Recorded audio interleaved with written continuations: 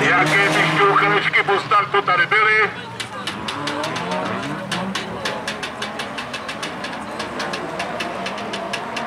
No a do čelade Václav Šplíchal.